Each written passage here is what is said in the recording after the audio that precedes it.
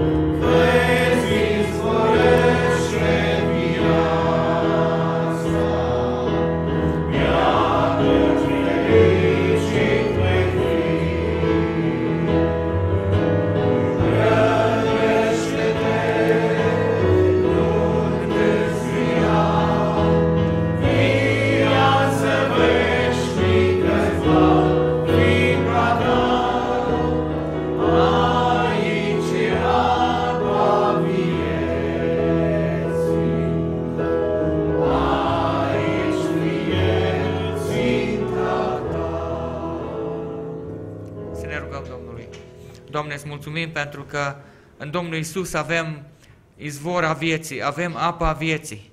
Și, Domne, așa ca și cum a spus psalmistul, sufletele noastre însetează după Tine, Dumnezeule, sufletele noastre însetează după Dumnezeu cel viu. De aceea, Domne, suntem în dimineața aceasta aici, pentru că suntem însetați după Tine, pentru că avem nevoie de Tine, pentru că de la Tine primim viață veșnică, întărire, liberare de păcat, și biruință împotriva Lui. Binecuvântează pe toți care sunt în această dimineață aici și pe cei care ne ascultă pe internet. Și te rugăm, Doamne, să ne dai binecuvântarea Ta și asta înseamnă duc de pocăință în viața fiecăruia dintre noi.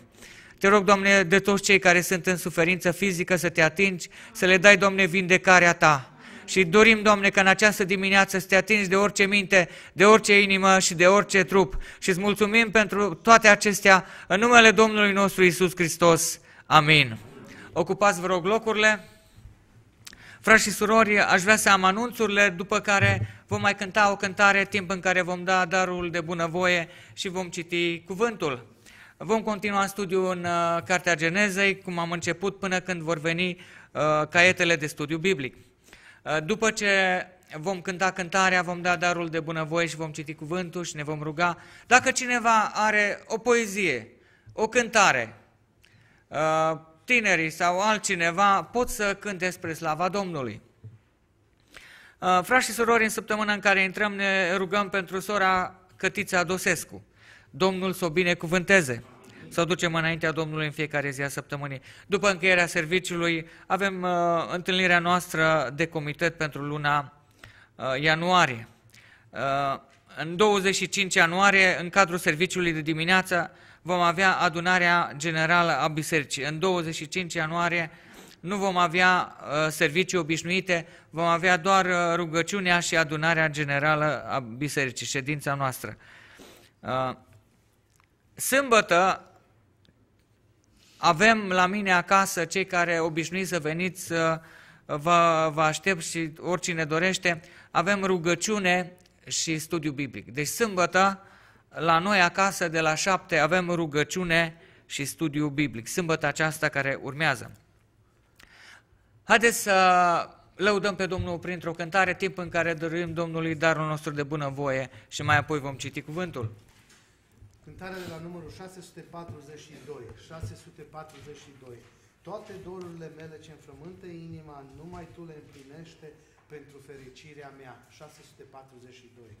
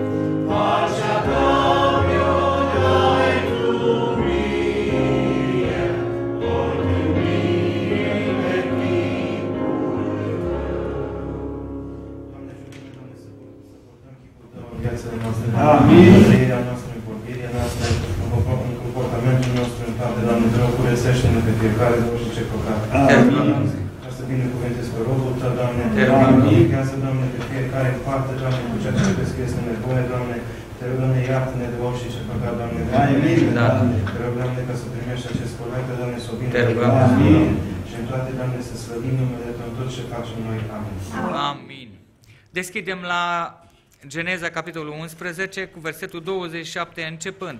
Și vom citi o serie de versete, uh, câteva și din 12.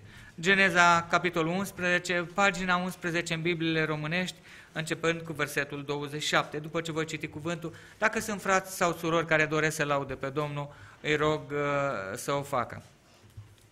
Geneza 11 cu 27 începând. Iată spița neamului lui Terah. Terah a născut pe Avram, pe Nahor și pe Haran. Haran a născut pe Lot. Și Haran a murit în fața tatălui său Terah, în țara în care se născuse în Ur, în Haldea. Avram și Nahor și-au luat neveste. Numele nevestei lui Avram era Sarai și numele nevestei lui Nahor era Milca, fica lui Haran, tatăl Milcăi și Iscăi. Sarai era stearpă, n-avea copii deloc.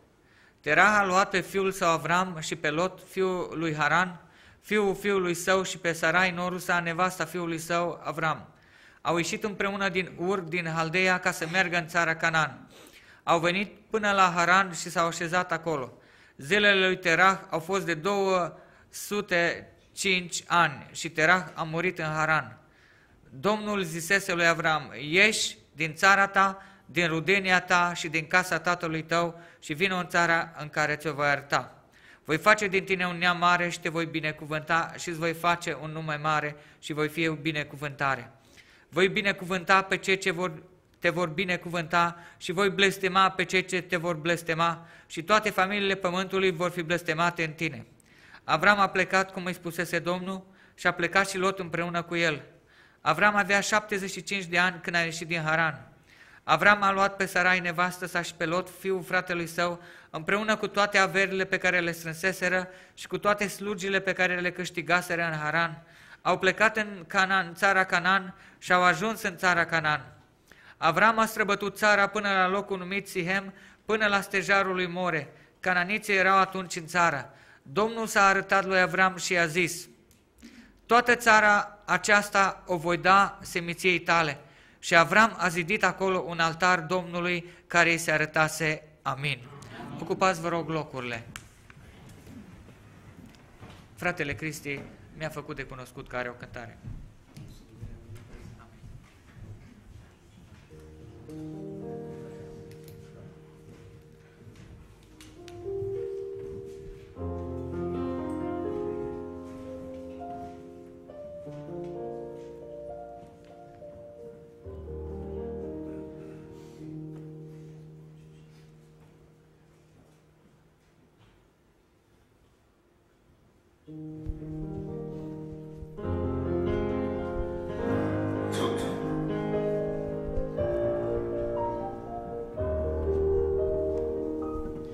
Dacă sufletul ți-e apăsat de povara grea și de păcat, simți condamnare,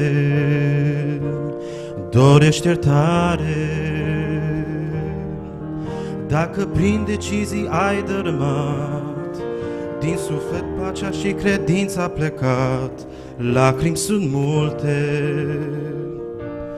nădăși pierdute. Dacă sufletul ți-e apăsat de povara grea și de păcat, simți condamnare, dorești iertare.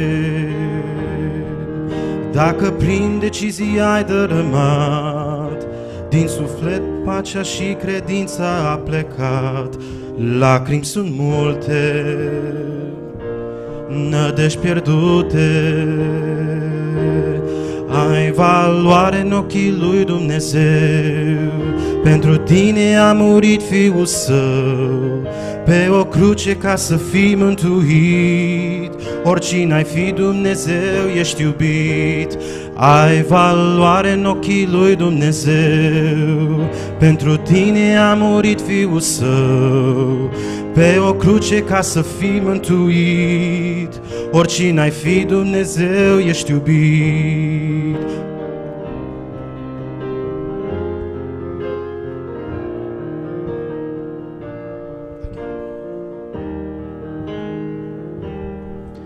Dacă sufletul ți-e apăsat de povara grea și de păcat, simți condamnare,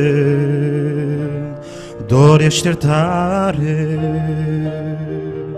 Dacă prin decizii ai dărâmat, din suflet pacea și credința a plecat, lacrimi sunt multe, nădăși pierdute cu toții.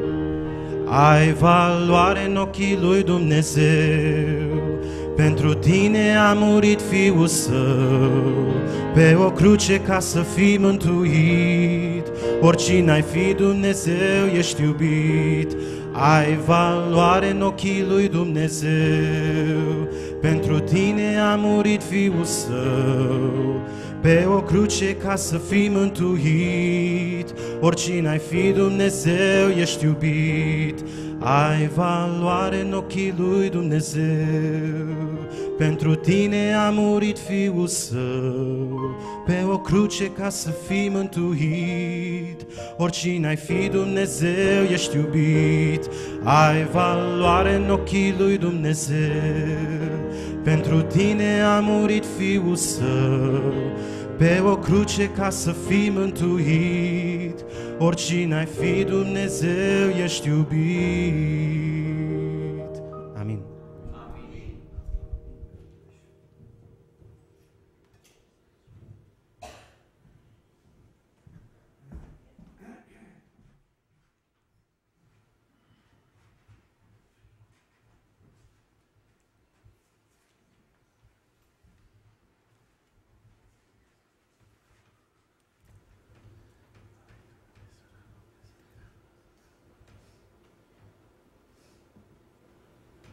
Dragii mei frați în credință, Dumnezeu să binecuvânteze bisericuța asta. Amin. De că am tăcut un timp și m-am gândit, oare de ce mai îmi dă Dumnezeu zile? Și m-am am zis, trebuie să mai fac ceva pentru El. Ceva ce n-am făcut, ceva ce trebuie să mai fac și Dumnezeu mă sâne în viață până voi rezolva problema care zice El că trebuie să o mai fac. Și m-am tot gândit și m-am analizat pe mine și am zis, măi, eu nu mai pot face lucruri multe pentru Dumnezeu. Singurul lucru care îl pot face e să vă citesc din Biblie două, trei versete. Domnul, binecuvânteze. Și așa am început. Când am fost tare și mare, am tăcut, nu m-am n-am făcut mișcări prea mari pentru Dumnezeu. Dar acum când nu pot, acum vreau. Acum ar vrea să fac. Când nu pot. Pentru început am zis că să citesc de la Roman 3, începând cu 21. Iertarea prin credință.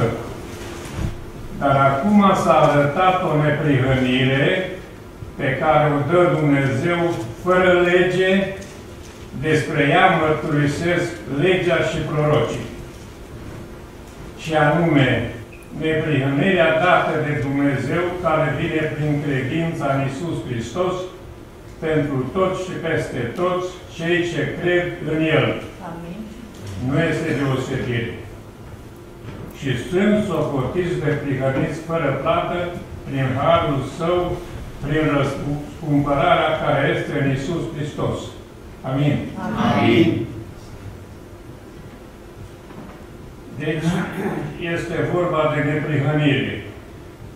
Ne- Neprihănire înseamnă, uite, spune că dreptate.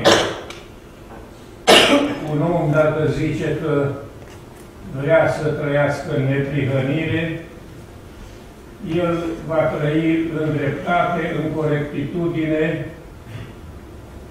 în sfințenie. Deci, deci asta înseamnă neprihănirea. Și cuvântul spune că neprihănirea o dă Dumnezeu Amin. Prin credința în Isus Hristos, Fiul Lui. Deci, fraților, să, să ne ferim, să ne facem o neprihănire a noastră. Neprihănirea o dă Dumnezeu prin credința în Fiul Lui. Mai departe, trebuie să ne gândim credința în Isus Hristos. Dacă Isus îmi spune să fac ceva, să mă duc la dreapta și eu mă duc la stânga, nu pot zice că eu cred în Isus Hristos. Trebuie să trăiesc după învățătura care o dat-o Iisus și o găsim noi în Biblie.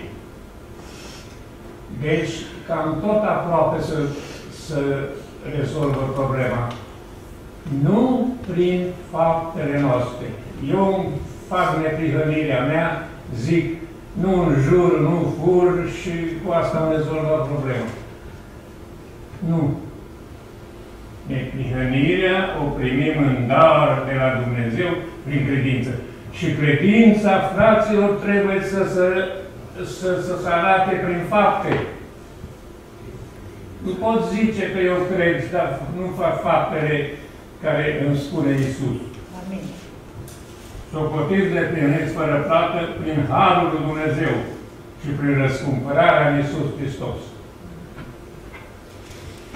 Fraților, Dumnezeu să binecuvinteze Biserica. Amin. Dumnezeu să ne apropie de El. Dumnezeu să ne dea credință. Noi să trăim pentru Dumnezeu și pentru Isus Hristos. Amin. Slavă și laudă Lui.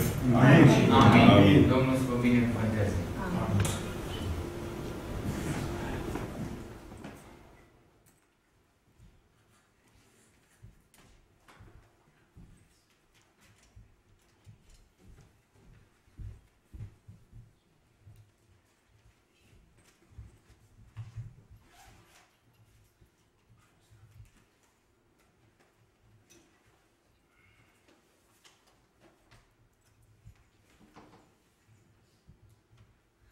Fratele Liviu vrea să cânte spre slava Domnului o cântare. Dacă nu mai este nimeni, după fratele Liviu uh, ne apropiem de cuvântul lui Dumnezeu.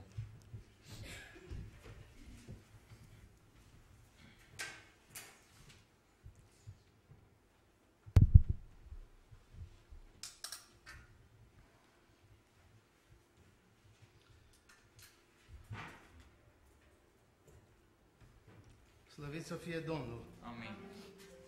Amin. De multe ori cânt această cântare pe drumurile mele pe camion și mi-a atins inima de prima dată de când am auzit-o și doresc să-i mulțumesc Domnului pentru aceasta. Și așa cum fratele Mircea spunea, pe când era în putere și era mai tare, n-a făcut prea multe pentru Domnul. Doresc ca rugăciunea mea să fie, în primul rând, pentru mine personal și apoi pentru ceilalți dintre dumneavoastră care suntem încă în putere să facem ceva pentru Domnul. Și cântarea ne spune, acel ce pururi are grijă de ori și cine în necaz, îți numără și ție pașii și lacrimile pe obraz, iar refrenul, să nu-ți pierzi la necaz credința și nici nădejdea când ți-e greu, nici dragostea când ești la bine, când El îl pierzi pe Dumnezeu. Slăvit să-i fie numele. Amin. Amin.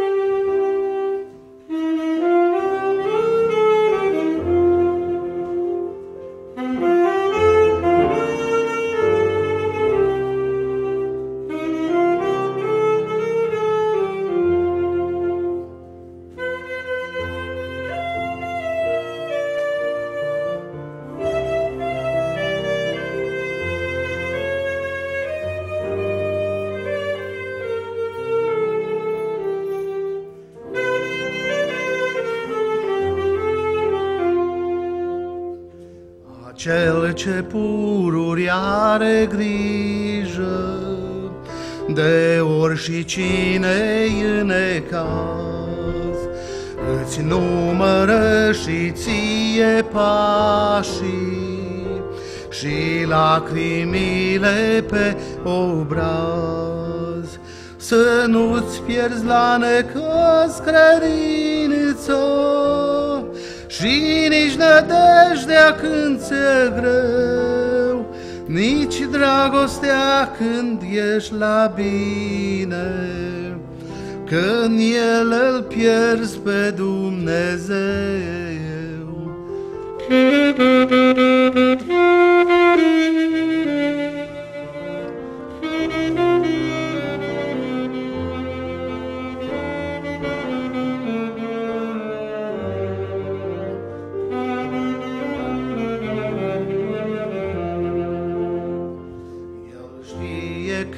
Să ți lase lupta.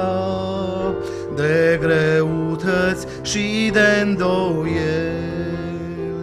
La timp îți va trimite harul, prin care sufletul să-ți speli, să nu-ți pierzi la necăs credință și nici nădejdea când ți-e greu, nici dragostea când ești la bine, când el îl pierzi pe Dumnezeu.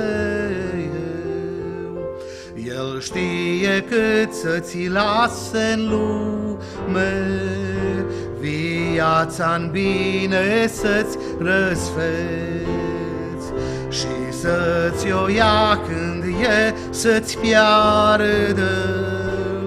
Comoara veșnicei vieți. Să nu-ți pierzi la necăs credință.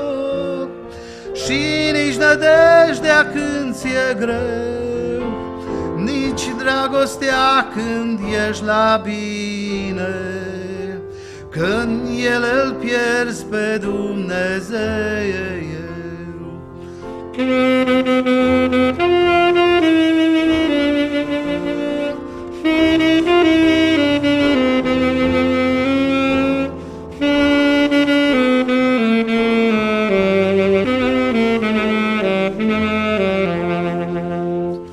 El știe când e de mustrare, nevoie spre dreptarea ta. El știe flacăra încercării, cât poți să stai și când s-o ia. Să nu-ți pierzi la necăs credință și nici nădejdea când ți-e greu, nici dragostea când ești la bine, când el îl pierzi pe Dumnezeu. Să-i mulțumești de tot ce Domnul îți dă în viață de orice fel. Pe El îl ai când ai credință, nădejdea și iubirea în El. Să nu-ți pierzi la necăs credință și nici nădejdea când ți-e greu, nici dragostea când ești la bine, când el îl pierzi pe Dumnezeu. Amin.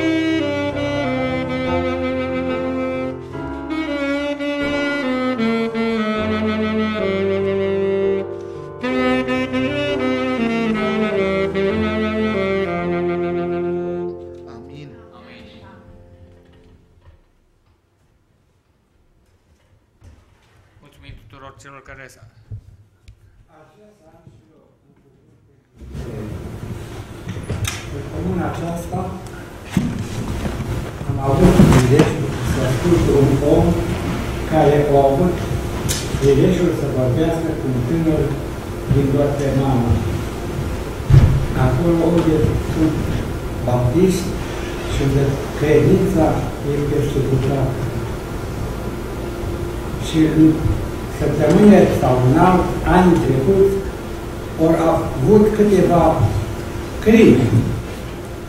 În săptămânile astea, un tânăr care a propovădat Evanghelia la Avon,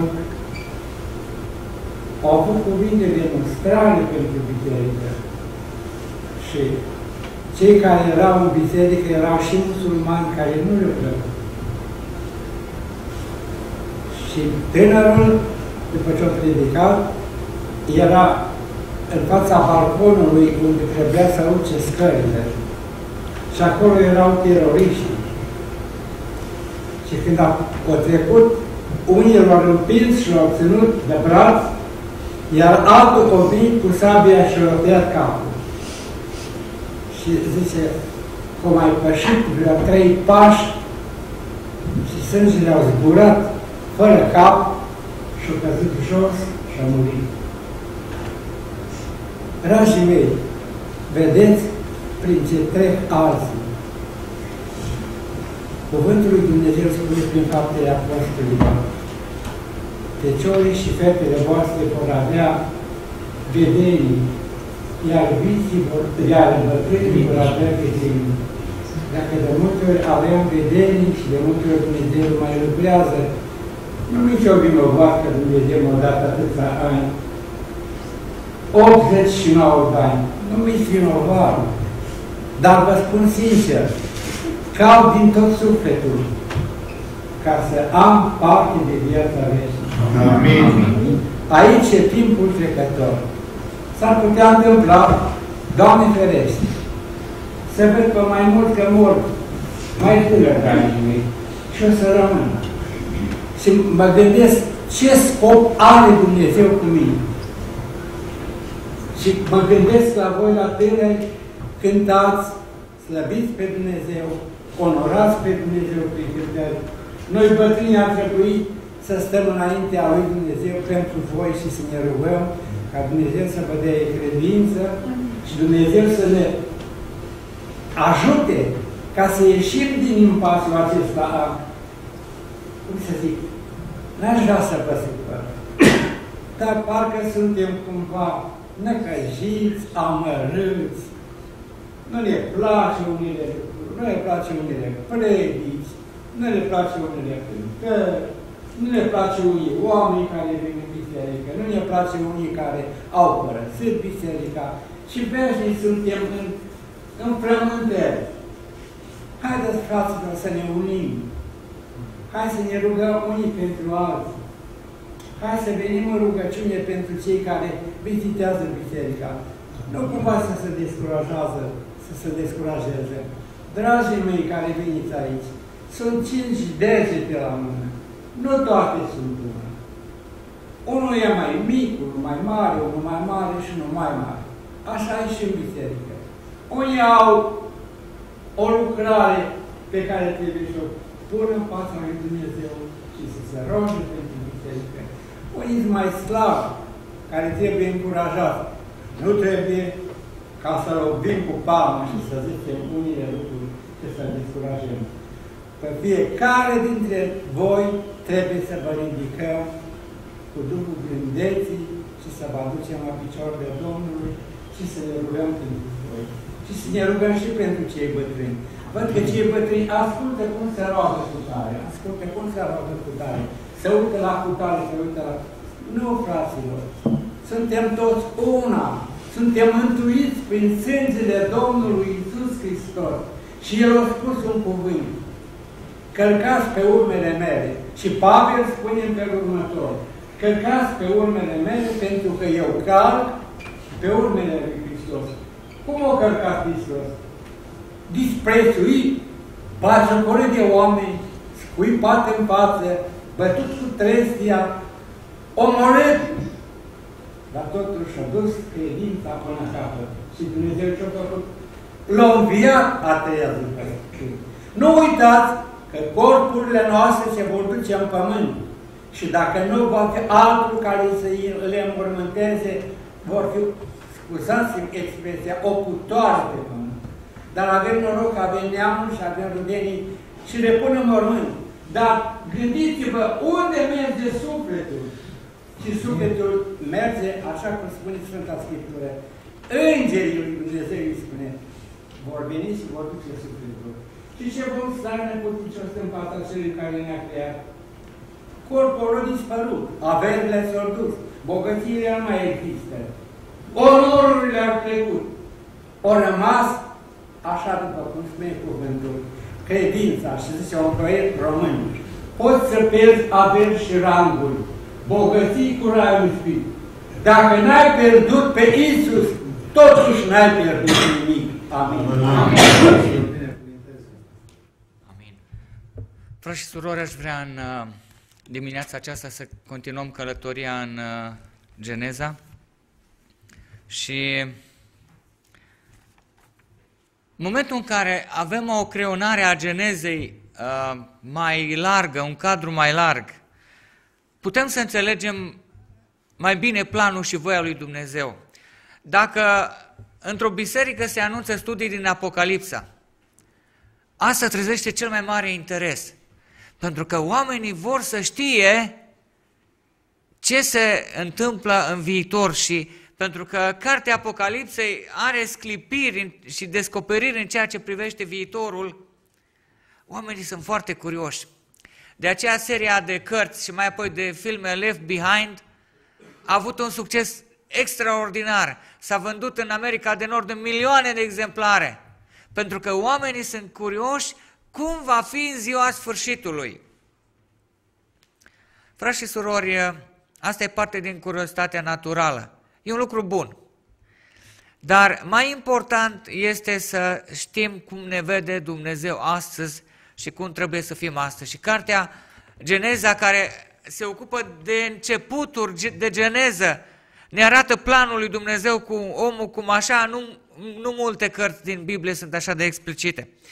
Uh, aș vrea să recapitulez și să prezint sumar capitolele peste care am sărit ca să ajung la capitolul 11. Uh, am început cu planul creației, Dumnezeu l-a făcut pe om.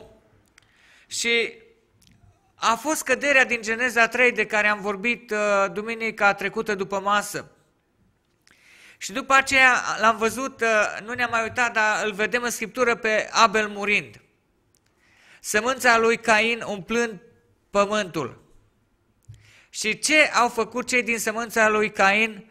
Au umplut uh, pământul cu violență și cu răutate.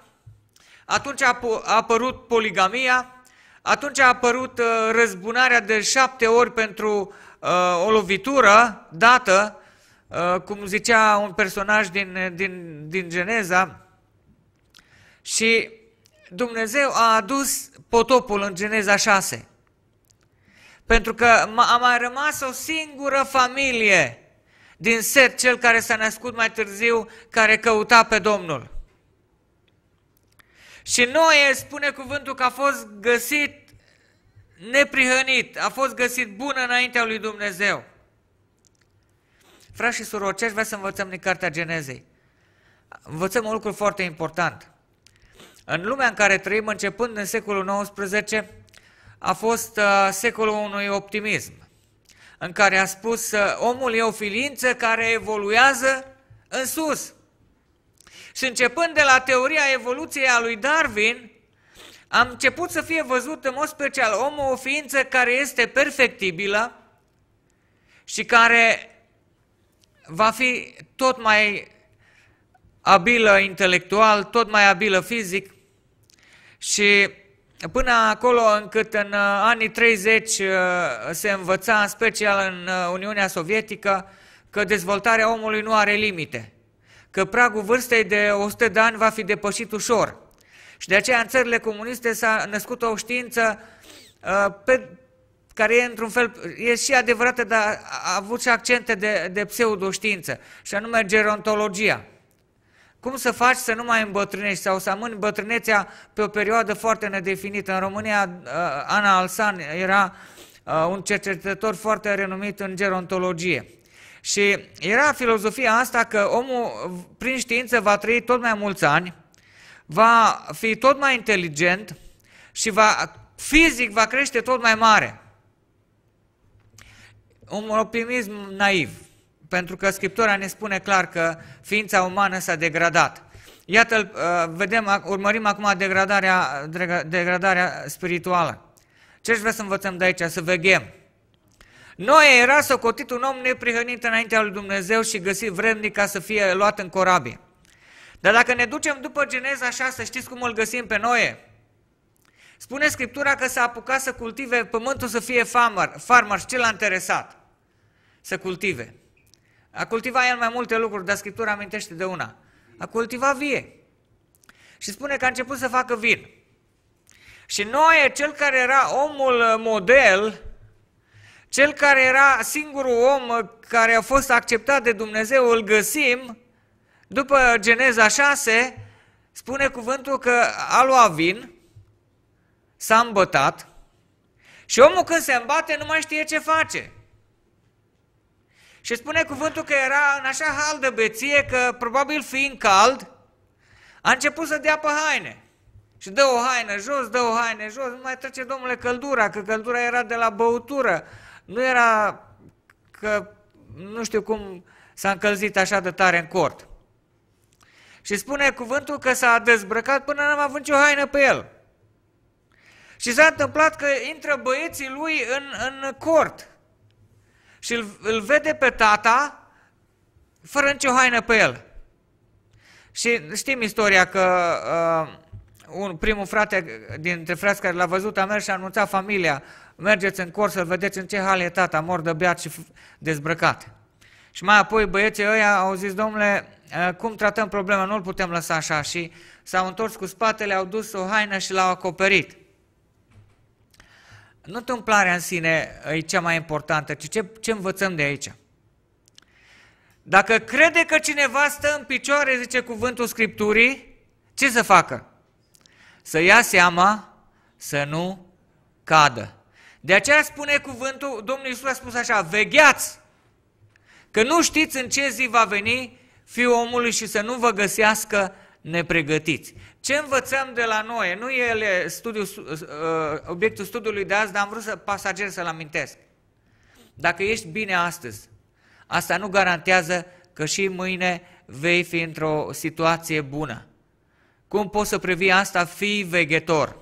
Caută să te întărești în relația cu Domnul. Caută să crești în Domnul. Pentru că oricare dintre noi, dacă nu veghem, dacă nu stăm lângă Domnul, putem ajunge într-o situație de toată jena în ziua următoare, să ne compromitem în fața familiei, să ne compromitem în fața prietenilor, să ne compromitem în fața bisericii, să ne compromitem în societate. Vegherea e cuvântul cheie în căderea lui Noe. Ce, vrem, ce vreau să vedem de aici? Că lumea în care trăim e o lume care se poate degrada foarte ușor. Standardul se poate degrada foarte repede.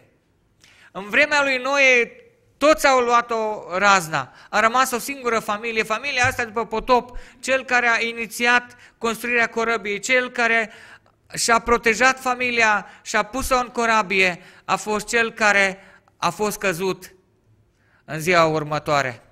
De aceea, dragii mei, să veghem unii asupra altora și să mai învățăm ceva de la de la fiii lui Noi. Acolo au fost două atitudini.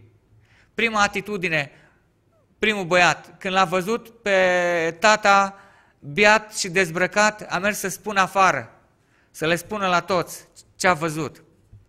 Ceilalți băieți au avut atitudinea opusă. L-au acoperit și și-au ținut gura. Ce faci când vezi că cineva a greșit cu ceva? Mergi și suni din trâmbiță și pui mâna pe telefon și uh, anunți peste tot că ați auzit ce a făcut cu tare. Asta e atitudinea primului fiu. Și știți ce a venit peste primul fiu pentru atitudinea asta? Îmi spune cuvântul. A venit blestemul lui Dumnezeu. Ceilalți fii care au avut o altă atitudine față de păcat, și au intrat uh, cu spatele, nici nu au vrut să, să vadă păcatul și decăderea tatălui lor și au lăsat haina, au fost binecuvântați de către Dumnezeu, pentru că au acoperit și n-au trâmbițat mai departe acel păcat. Frați și surori, uh, sunt două atitudini și să învățăm de la ele. Să ne ferim să fim bârfitori, să ne ferim, să punem mâna pe telefoane, dacă am auzit ceva rău de cineva, să amplificăm, să povestim mai departe. Nu contează că chiar așa a fost și că chiar așa a fost adevărat. Asta e o agenție a diavolului să o lăsăm să-și facă el geabul, că oricum și îl face foarte bine și să nu ne facem copărtași cu el la lucrarea aceasta și noi să ne ferim să fim așa. Frați și surori, a urmat apoi turnul Babel, nu mai vreau să amintesc de el decât foarte pe scurt, în care omenirea a vrut să construiască un turn și atunci au spus două lucruri vrem să avem prin acest turn. Unu, să, să ajungă turnul nostru până la cer, mândrie. Adică să ne ajungem la cer pe baza rugăciunii, să avem noi turnul nostru care să ne ridice până la cer, care să ni se datoreze nouă. Să ridicăm un turn a cărui vârf să atingă cerul, mândrie. Și doi, să ridicăm un turn, găsim acolo ca să ne facem un nume. Un nume care urma să fie legat nu de Dumnezeu, ci de uh, smoală, care ținea atunci loc de ciment sau de plaster și de cărămizi. Și întrebarea din, de aici, ca aplicație pentru noi, peste textul acesta care sărim, uh, este de ce ne legăm, de ce legăm numele nostru în viața aceasta? De cărămizi și de smoală, cum au vrut să se lege cei din, uh, de la turnul, generația turnului Babel, să-și facă un nume legat de un turn impresionant, de o construcție impresionantă, sau un nume, cum spune textul nostru, uh, legat de Dumnezeu. Versetul 2 din 12 cu 2 spune, îți voi face un nume mare. Domnul îi spune lui Avram. Nu vei avea un nume legat de, de realizări culturale. Nu vei avea un nume mare legat de clădiri impunătoare. Uite, aici a stat Cornel, uitați ce, ce, ce impresionant e, e locul acesta. Nu, un nume legat de Dumnezeu. Frați și surori, numele noastre să nu fie legate de realizări pământești, ci să fie legate de Dumnezeu, să se știe că am făcut ceva pentru Dumnezeu. Cum am amintit și altă dată, din greșeală, când am început să umblu în state, am căutat un oarecare magazin și am zis care e mai aproape de graniță. Și m-a dus în zona aia unde, dacă faci un film despre a doua venire a Domnului, acolo poți să filmezi, nu mai trebuie să faci niciun fel de retușuri. Uh, case cu cartoane în geamuri, uh, buruieni uh, pe acoperiș, garduri dărâmate, găuri în asfalt, deci peisaj apocaliptic, aici câteva mile. Și ce indivizi dubioși poți să vezi că scot capurile și se uită după tine. Ce am văzut acolo, frați și surori, nu asta m-a șocat, uh, mizeria și decadența, ci m-a șocat unele, ce case au fost ele cândva. Case de piatră frumoase cu trei etaje, palate, frați și surori, în care s-a băgat dolari câștigați la, la Ford și la Chrysler la greu. Și astăzi sunt animănui și iese buruienile și încep să crape pereții să se dărâme. De aceea, frați și surori, viața noastră să fie legată în primul rând de Dumnezeu, să lăsăm pe El să ne facă un nume. Frați și surori, orice binecuvântări ne de Domnul, să nu uităm că toate sunt de la El. Să nu luăm nimic ca pe un lucru de apucat și orice binecuvântare ne dă Domnul, sănătate, uh, condiții materiale mai bune, să mulțumim Domnului pentru ele. Să fim totdeauna recunoscători Domnului pentru sănătate, pentru că ne-a binecuvântat să avem de toate. Nu există unul dintre noi la care să-i lipsească ceva cu adevărat. Mofturi ne lipsesc la toți. Fiecare dintre noi am vrea ceva mai mult. Și eu. Și nu zic toți, dar majoritatea, parcă ne mai lipsește ceva. Și eu în primul rând mă simt așa. Dar nu e o nevoie reală. Ceea ce am nevoie cu adevărat, un acoperiș deasupra capului, o haină, căldură în casă, frigider plin, m-a binecuvântat Dumnezeu din belșug. Frați și surori, degradarea n-a fost numai spirituală, ci degradarea a fost și o degradare biologică. Cât trăia omul înainte de potop? Trăia 800, 900 de ani. A venit potopul, în textul nostru, tata lui Avram cât a trăit? Versetul 32, 11 cu 32. Zilele lui Terah au fost de 205 ani. A trăit peste 200 de ani. Dar de la Avram încolo știți la cât cade vârsta? 100, cât a trăit Avram? Nu, n-am cercetat în ultimul timp în text, dar cred că 100... 187. După Avram, următoarele generații, vedeți că cade vârsta la 120. 130. Nu mă uitați-vă în Geneza, e fascinant. Și mai trec câteva sute de ani, mai trece o perioadă, hai să zicem peste o mie de ani, și în vremea lui David găsim scris. Cei mai, zilele unei, unui om obișnuite sunt 70 de ani, la cei mai tari 80. Vedeți cum a fost degradarea biologică, în special după potop, așa condiții erau pe pământ create de Dumnezeu înainte de potop, așa perfect era pământul, încât trăiai 800-900 de ani. A, așa, așa condiții existau. Vă imaginați cum arta pământul făcut de Dumnezeu pentru om înainte de potop? Ce frumusețe și ce condiții ideale de viață! Deci, ce aș vrea să subliniez cu toate astea? Istoria omenirii e o istorie a degradării. Omul nu evoluează, așa cum spune uh, uh gândirea modernă de la Jean-Jacques Rousseau încoace, ci omul se degradează. Așa ne învață Scriptura. De aceea spune cuvântul Timotei să știi că în zilele din urmă oamenii nu vor fi nici mai buni, nici mai deștepți, nici mai cuminți, ci spune că să știi că în zilele din urmă vor fi vremuri grele, pentru că oamenii vor fi iubitori de sine, trufași, lăudăroși, fără dragoste măcar firească. Asta înseamnă realitatea și realitatea e cum o spune Scriptura și nu cum încearcă pedagogia modernă și gândirea modernă să o descrie, care nu are niciun suport în realitate. Frați și surori, aș vrea să ne apropiem de Avram și în câteva minute să vedem Avram și uitându-ne în viața lui să înțelegem că există o paralelă între Avram. Ce a făcut Dumnezeu când totul s-a degradat? Ce face Dumnezeu când, când se degradează în jur? Ce a făcut în vremea lui Noe?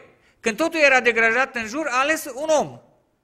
Și a spus Noe, am un plan pentru viața ta și pentru familia ta, urmează-mă. Când totul s-a degradat în jur după potop, ce a făcut Dumnezeu? A făcut același lucru. S-a uitat la o familie și i-a zis lui Avram, Avram, am un plan pentru tine. Urmează-mă. Dar i-a pus câteva condiții. Frați și surori, când Dumnezeu are un plan cu cineva, asta e planul lui, nu e planul meu. Ce vreau să zic? Noi nu putem să... Niciodată omul nu merge înaintea lui Dumnezeu, Doamne, n-ai un plan pentru mine, vreau să fac ceva. Totdeauna sursa chemării este Dumnezeu, 12 cu 1. Dumnezeu a zis lui Avram, ieși din țara ta, din rudenia ta, din casa tatălui tău și vină în țara în care uh, te voi uh, chema. Frați și surori, ce a făcut? Domnul i-a zis să iasă din țara lui, din rudenia lui și din casa tatălui lui. Acum el ce a făcut? Vedem câteva versete mai devreme că a ieșit. Dar cum a ieșit? Din trei puncte a ascultat unul. A părăsit orașul din care era, el de origine era din orașul Ur.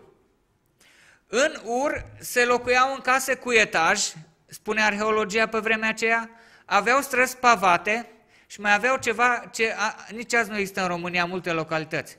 Canalizare, sistem de canalizare aveau. Și Domnul îi spune Avram, uite, am o propunere pentru tine. Să-ți lași confortul, să-ți lași casa ta cu canalizare, să-ți lași business-ul care l-ai aici în oraș și să te duci. Să-ți iei familia să te duci. Dar unde, Doamne? Pe undeva, unde te trimit eu. Dar descriem locul ăla cu diamănunt. Nu. Te duci unde te trimit eu. Și, Adam, ă, ă, și Avram spune, ok, mă duc. Și lasă orașul Ur, dar știți ce duce după el?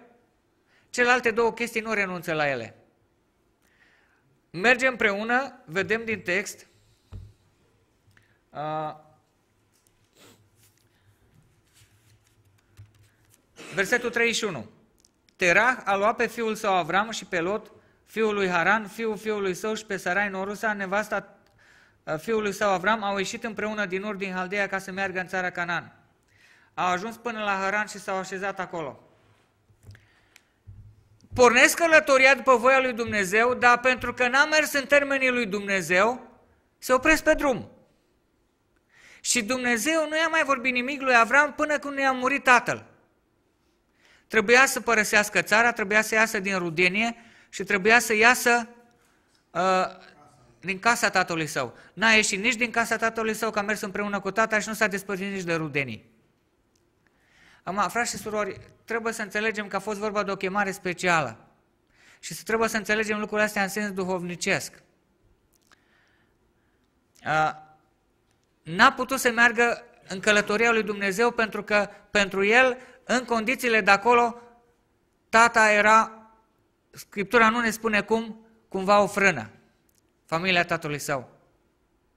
Și după ce moare tatăl său, undeva la mijlocul călătoriei în Haran, Avram își urmează chemarea, dar tot nu singur, cu pe cine mai avea după el? Avea rudele. Avea pe nepotul, pe nevasta nepotului și uh, sclavii nepotului și averea nepotului. Ce a câștigat că a dus pe nepotul după el și n-a ascultat de cuvânt ca să lase rudele acasă? Ce i-a creat Lot în țară? Numai probleme a venit acolo cu un duh de nemulțumire. Și dacă am merge în capitolul 13, și poate că anticipez capitolul 13, Lot era tot timpul nemulțumit.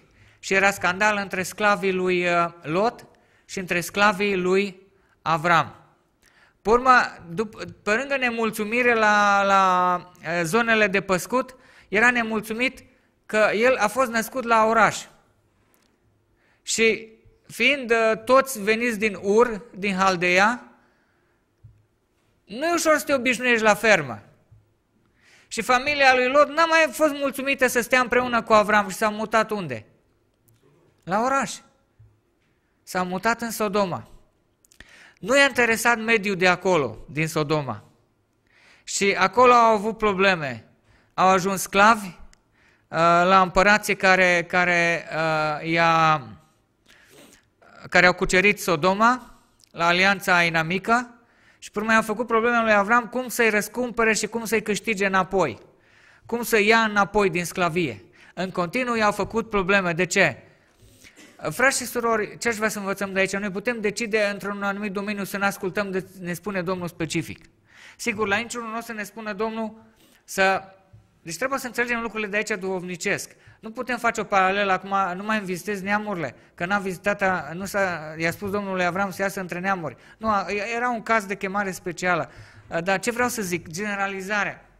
Când Domnul ne spune ceva specific, noi putem să ne ascultăm. Și Domnul cu asta o lasă la atitudinea noastră. Sunt lucruri care, dacă noi nu ne, nu ne despărțim de ele, Domnul nu le ia din viața noastră. Dar știți ce se întâmplă cu lucrurile care noi nu vrem să ne despărțim de ele după cuvântul lui Dumnezeu din viața noastră și continuăm să călătorim cu ele? Lucrurile acelea din când în când vor începe să ne producă necazuri. Și de multe ori avem necazuri, frați și surori, și nu știm de ce. Dar câteodată când avem necazuri, avem necazuri pentru că noi suntem într-o stare în care nu ne-am despărțit de anumite lucruri care Domnul ne-a spus să ne despărțim de ele. Uh, frați și surori, Domnul i-a spus lui Avram în versetul 1, vină în țara pe care ți-o voi arăta. Domnul n-a avut pentru Avram poze. Domnul n-a avut lui Avram o țară care să-i arate. Să zică, uite, vreau să-ți arăt țara aceasta cât e de frumoasă. Uite, vreau să-ți prezint uh, un, uh, un video. Vreau să îți prezint țara așa cum este ea de frumoasă. Nu, n-a văzut nimica. Ci spune cuvântul că a călătorit cum? Vă aduceți aminte din alte cărți, în special din evrei. A călătorit prin credință și ca un străin a călătorit prin credință. El n-a știut cum arată țara, dar s-a încrezut în cel care i-a promis țara. Frați și surori, cum va fi în cer? Noi încercăm să descriem cerul. Spune cuvântul că nouă ni s-a făcut o chemare cerească. Evrei 3 cu 1, vă rog să puneți. Noi nu știm cum va fi în cer. Dar și nouă, ca și lui Avram, ni s-a făcut o chemare cerească. De aceea, frați sfinți care aveți parte de chemarea cerească, cum să călătoriți? Ațintiți-vă privirile la apostolul și la marele preot al mărturisirii noastre, adică la Isus. Frați și surori, lui Avram i s-a cerut să meargă într-o țară pe care el nu o cunoștea. Țara n-a cunoscut-o, dar a cunoscut pe cel care l-a chemat. Și pe baza cuvântului său, pe baza promisiunii și a chemării lui Dumnezeu, Avram a lăsat o țară care pentru el însemna certitudine și ancorare, a lăsat o familie care pentru el însemna confort și s-a dus într-o țară străină pentru că Dumnezeu l-a chemat acolo. Prețul chemării pentru el a fost să părăsească totul. Ești din țara ta, ești din rudenia ta și ești din casa tatălui tău. Ce putea să mai să ceară Dumnezeu mai mult? Toate elementele de confort au fost rupte. Sau i-a cerut Domnul să le rupă. Frați și surori, aș vrea să ne amintim ce i-a promis în versetul 2. Voi, voi face din tine un neam mare și te voi binecuvânta. Îți voi face un nume mare și vei fi o binecuvântare. Frați și surori, cum poate să ajungă cineva o binecuvântare? Într-un singur fel, ascultând de Dumnezeu. Domnul a spus ceva, voi face din tine un neam mare și te voi binecuvânta și îți voi face un nume mare. Cu alte cuvinte, Domnul îi spune, nevoia ta de semnificație o voi împlini eu. Nevoia de a te simți că ești important în lume. Nevoia de a simți că tu contezi în viața aceasta. Nevoia aceasta ți-o vei împlini din relația cu mine. Îți voi face eu un nume mare. Frați și surori, cel care vrea să ne facă un nume este Domnul. Și știți că scrie în cartea Apocalipsei că Domnul ne va da o piatră albă pe care scrie un nume nou. Și asta înseamnă un nume care se potrivește cu nou caracter care îl vom avea în veșnicie. Un nume care conține în el o binecuvântare veșnică. De aceea când îți face Dumnezeu un nume, când îți uh, uh, ridică Dumnezeu un nume, e un nume care nu se mai șterge, e un nume care e legat de veșnicie. Îți voi face un nume mare și voi fi o binecuvântare. Frați și surori, ce vrea să vă învățăm alt lucru de aici? Dacă nu ești gata să, dacă nu sunt gata să plătesc prețul, nu voi deveni o binecuvântare pentru alții. Cum pot să ajung o binecuvântare pentru alții? Pot să ajung într-un singur fel, învățăm de la Avram, fiind gata să plătim prețul ascultării de Dumnezeu. Dumnezeu i-a zis lui Avram, ești din țara ta, ești din rudenia ta, ești din casa tatălui tău și te voi face o binecuvântare. Avrame, ca să, ca să devii o binecuvântare, trebuie să plătești pardon, un preț ascultării. Care e prețul care îl plătesc eu și care îl plătești tu ca preț a ascultării? Vrei să fii o binecuvântare pentru alții? Frați și surori, cei mai mulți dintre oamenii de pe pământ trăiesc egoist. Trăiesc pentru ei înșiși, să le fie bine lor, să le meargă lor bine, să prospere ei, să, uh, să se ocupe numai de ei. Cel care e egoist și închis în el însuși, cel care nu, nu a părăsit pentru Dumnezeu nimic, nu poate să fie o binecuvântare pentru alții. Atunci când pentru Dumnezeu părăsești lucruri care Dumnezeu își cere să părăsești, atunci devii o binecuvântare pentru alții. Frați și surori, niciodată nu uit de Pavel. Apostolul Pavel era un om normal, e un caz extrem de dedicare, de el nu s-a mai căsătorit, pentru că vrea să fie o binecuvântare pentru alții. Și călătoriile lui misionare nu îi îngăduiau ca să se îngrijească de soție și de copii. N-a mai avut o familie pentru că a vrut să fie o binecuvântare pentru alții.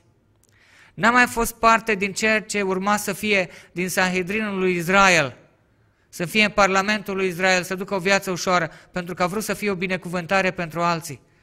Și zice, într-un loc am ajuns ca gunoiul tuturor, zice într-una din epistole.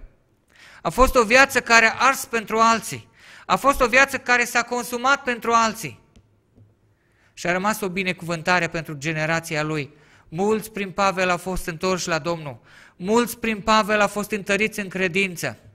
Mulți prin Pavel au auzit cuvântul Evangheliei și au primit viață veșnică. A murit și a trăit și a fost o binecuvântare pentru alții. Frați și surori, dacă Avram nu accepta chemarea, zicea, nu, nu vreau nici să ies din ur, nici să mă duc într-o țară necunoscută, nici să încep din nou de la zero, nici să călătoresc în cort, nici n-am fi auzit de el că există. Avram ar fi putut să trăiască și să moară anonim în ur. Și am fi putut să citim mii de tăblițe uh, de lut din, uh, dezgropate din ur și poate nici n-am fi găsit numele lui Avram acolo, că ca și Avram în ur mai erau câteva mii probabil. Și murea ca un anonim. Cum a devenit Avram unul care a fost o binecuvântare? În primul rând, prin ce a devenit o binecuvântare? Pentru că prin el trupește a venit Mântuitorul. Din el trupește s-a născut poporul evreu care era denumit de, de către muslimi, când i-au cunoscut prima dată pe evrei, poporul cărții. Pentru că ce au văzut la evrei, că cel mai important lucru din viața lor e o carte. Am văzut uh, uh, prin uh, bunătatea unei familii de aici, am văzut documentare uh, despre statul Israel. Și am văzut un avion care a aterizat în Israel cu evrei care s-au reîntors în Țara Sfântă. Acum ei s-au întors pentru prima dată în viața lor, că nu au fost în viața lor, au migrat. Aduși, mi se pare, din Rusia. Când s-au dat jos evrei aceia din, din Rusia, care în viața lor n-au fost în Israel, s-au întors să devină parte din Israel, știți ce avea primul care a coborât? Avea sulurile Torei. Și așa, așa a coborât uh, din avion, ținând așa sus sulurile Torei. Evreu și nu bagajele în mână, bocceluța. Evreu și cuvântul lui Dumnezeu. De ce a fost denumit poporul cărții? Pentru că Avram accepta să moară față de el însuși, față de planurile lui, față de dorințele lui, față de ambițiile lui, față de visele care și le-a construit în ur. Dumnezeu l-a binecuvântat din el să se nască un popor care să fie purtătorul Scripturii. Și cum suntem noi, azi, cum e Avram binecuvântare pentru noi astăzi? Prin copiii lui am primit cuvântul scris. Printr-un fiu de-al lui Avram a venit mântuirea, pentru că Isus Domnul nostru, după trup, a fost fiul lui Avram. Toate acestea, pentru că omenește vorbind acum un om, a spus da.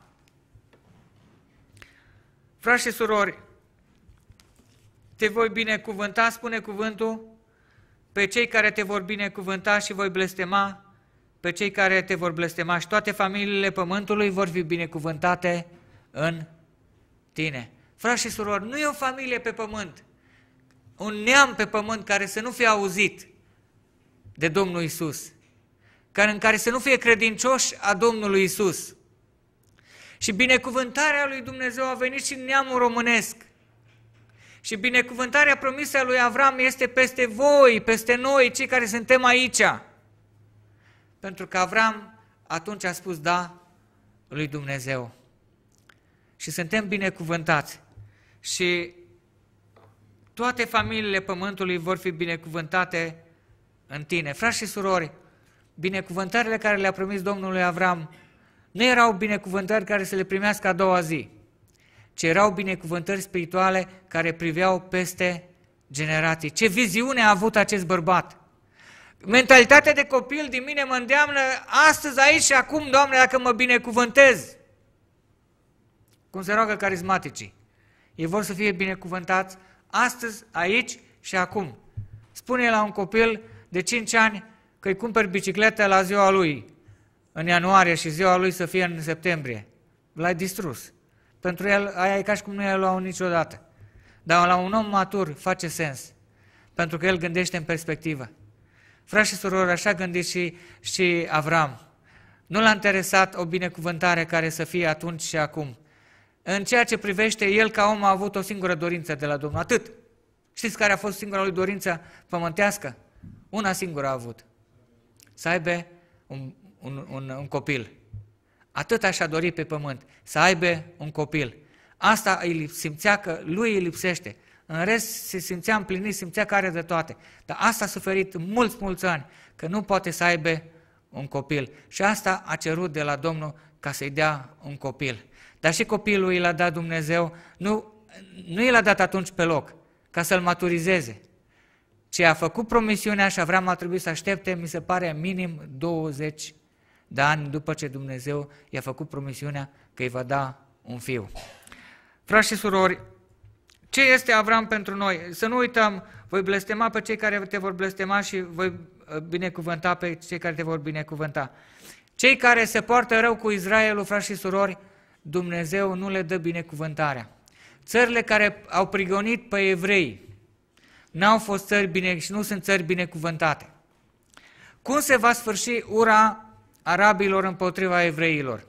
Se va sfârși după învățătura Scripturii rău. Pentru că nu se poate să blestem pe cineva de când te scoli până te culci și în cântece de muzică ușoară și în cântece războinice și să ai emisiuni la televiziune uh, în care să blestem Israelul și să înveți copiii de la grădiniță cum să urască Israelul. Am văzut uh, uh, copiii palestinieni pe YouTube de 2-3 ani și îl întreba reporterul, ce vrei să fii? Și zicea copilul ăla de, de, de 3-4 ani sau cât avea mititel. Vreau să fiu luptător pentru islam. Măi, și să afară cu Israelul. Ce binecuvântare să dea Dumnezeu în asemenea neam, că, pentru că e promisiunea Scripturii, pe cei care te vor binecuvânta, îi voi binecuvânta, pe cei care te vor blestema, te vor blestema. Se binecuvântarea lui Dumnezeu se vede, care ați fost în Israel? Acolo e o țară cu autostrăzi cu bună rânduială, cu civilizație, cu un nivel de trai bun. Numai să treci granița un pic dincolo și ca și cum ai trece din Statele Unite în Mexic. Uh, crime, neorânduială, mizerie, haos, tot ce vrei. De ce? Pentru că nu e binecuvântarea lui Dumnezeu. Uh, teritoriile care le-au luat de la Israel palestinienii, cât timp au fost sub Israel, acolo au domnit ordinea, a domnit uh, disciplina și lucru bine făcut. După ce au luat palestinienii teritoriile înapoi, s-a instalat ce a fost înainte de venirea evreilor. Haosul, mizeria și sărăcia. Pentru că binecuvântarea lui Dumnezeu e acolo unde copiii lui Avram sunt binecuvântați. Blestemul lui Dumnezeu e acolo unde copiii lui Avram sunt uh, blestemați. Frați și surori, aș vrea să mă apropii de încheiere. Și aș vrea să închei cu aceste cuvinte. Vrem ca Dumnezeu să ne facă un nume care să fie veșnic, să ascultăm chemarea Lui. Chemarea Lui Dumnezeu, așa cum l-a costat pe Avram trei lucruri, ne va costa și pe noi ceva. Nu ce l-a costat pe Avram, poate, ne va costa ceva să ne despărțim de anumite lucruri care ne împiedică să iubim pe Domnul. Sunt lucruri care nu sunt păcătoase. Câteodată nu trăim de-a dreptul un păcat, dar sunt lucruri care ne împiedică pe noi să slujim pe Domnul, ne împiedică, nu avem timp de cuvânt, nu avem timp de scriptură, nu avem timp să venim la biserică, nu avem timp să lucrăm pentru Domnul. Sunt lucruri care ne împiedică. Dacă acele lucruri nu le părăsim, frați și surori, niciodată nu vom ieși din lucrurile în care ne cere Domnul să ieșim. Și nu vom putea fi o binecuvântare pentru alții. Frați și surori, când vine clipa morții, știți ce mult va conta să știm că am fost o binecuvântare pentru alții? Că cei care aveau nevoie de mângâiere, le-am dat mângâiere. Cei care aveau nevoie de ajutor, le-am dat o mână de ajutor. Cei care aveau nevoie să fie ridicați, i-am ridicat. Cei care aveau nevoie să fie slujiți, i-am slujit noi. Frați și surori, lucrurile astea dau sens vieții. Vrem să fim, să avem o viață împlinită. Să trăim în așa fel încât să fim o binecuvântare pentru alții. Amin. Haideți să ne ridicăm și să încheiem cu rugăciune. Și un frate sau o soră să ne conducă în rugăciune de încheiere și mai apoi vom încheia cu o cântare.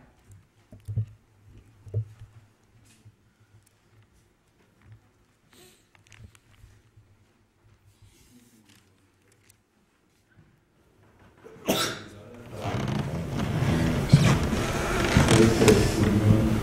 Ne rugăm, Doamne. Ne rugăm pentru o viață de Dumnezeu.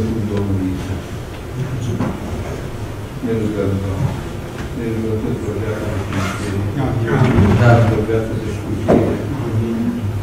Ne plidează să înțelegem ce înseamnă iubirea Ta și să o practicăm. Te rugăm. Este adevărat că nu suntem carne și noi nu e nicio dorință de Tine. Să ne rugăm ca cuvântul Tău să fie dominant a vieții noastre. Te rugăm. caracteristica vieții noastre, Doamne, să fim binecuvântați, ca să fim o binecuvântare, te rugăm. Te rugăm. Amin. Doamne, îți mulțumim pentru această dimineață în care ne-am uitat la Avram. Un om care a trebuit să plătească un preț. Ca preț a ascultării de Tine.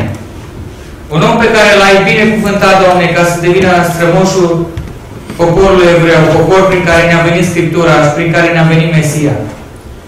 Doamne, El a plătit prețul și noi avem cei de astăzi binecuvântarea pentru că El a plătit prețul, binecuvântarea care se ridică peste generații și generații. Doamne, îți mulțumim pentru toți strămoșii noștri, care au părinții noștri, bunici, care te-au cunoscut pe Tine și au plătit prețul ascultării, pentru ca binecuvântarea venită prin ascultarea lor să fie peste copiii și peste nepoților, dintre care unii suntem astăzi prezenți aici.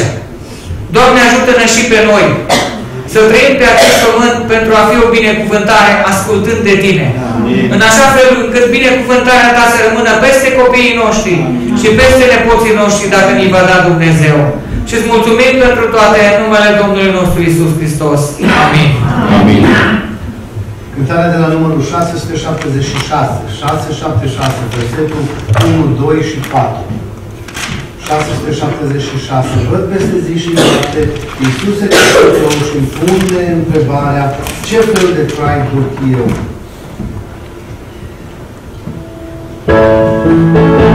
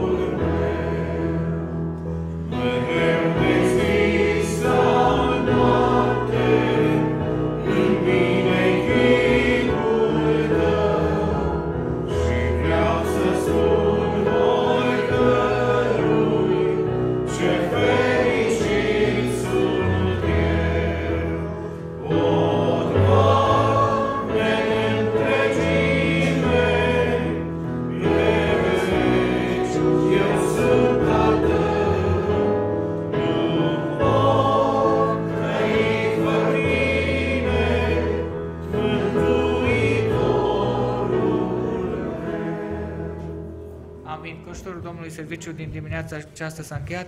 Ne vedem din nou în Casa Domnului pe masă de la ora 5. Rog pe frații din comitet să coborâm în camera tinerilor.